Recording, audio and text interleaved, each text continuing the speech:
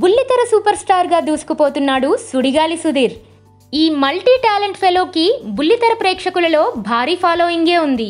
సుడిగాలి సుధీర్ అంటే తెలియని బుల్లితెర ఆడియన్స్ ఉండరేమో. జబర్దస్త్ వేదికపై మొదలైన సుధీర్ ప్రస్థానం సక్సెస్ఫుల్గా కొనసాగుతోంది. ముఖ్యంగా ఢీ షో ఆయన ఇమేజ్ను ఎక్కడికో తీసుకెళ్ళింది. ఢీ షోలో సుధీర్ పంచే కామెడీ సాంగ్స్ గ్రేసింగ్ స్టెప్స్ ప్రత్యేక ఆకర్షణనే చెప్పాలి. సింగింగ్ మ్యాజిక్ వంటివి సుధీర్కి తెలిసిన మరికొన్ని విద్యలు.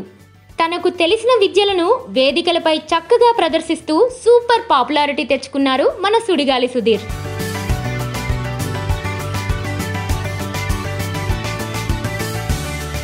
చేతి నిండా బుల్లితెర షోలతో బిజీగా ఉన్న సుధీర్ హీరోగా కూడా మారిన విషయం తెలిసిందే.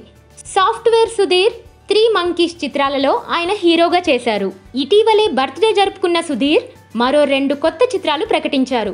గాలోడు పేరుతో ఓ మూవీ తెరకెక్కుతుండగా సుధీర్ మాస్ లుక్ కేక పుట్టించేలా ఉంది.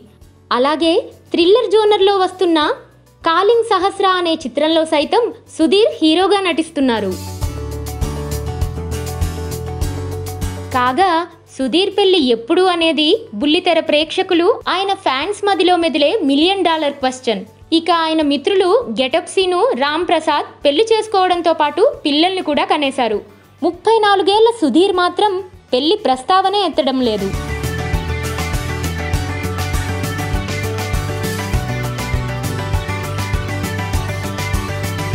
ఇదిలా ఉంటే సుధీర్ పెళ్ళిపై ఆయన కుటుంబ సభ్యులు క్లారిటీ ఇచ్చారని సమాచారం.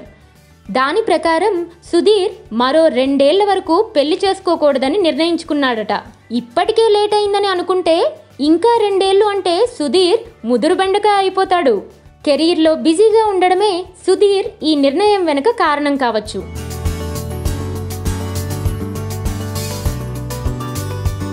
మరోవైపు సుధీర్ రష్మి లవ్ రూమర్స్ అలాగే కొనసాగుతున్నాయి. వీరిద్దరి మధ్య ఏదో ఉందని గట్టిగా నమ్ముతున్నారు బుల్లితెర ఆడియన్స్. రష్మి సైతం మరో రెండు మూడేళ్ళ వరకు పెళ్ళి ఆలోచనే లేదని అంటున్నారు. ఈ విషయంలో ఇద్దరి అభిప్రాయాలు కలవగా పెళ్ళి చేసుకునే ఆలోచన ఉందేమో చూడాలి. రష్మి సైతం బుల్లితెర స్టార్ యాంకర్గా ఫుల్గా బిజీగా ఉన్న విషయం తెలిసిందే.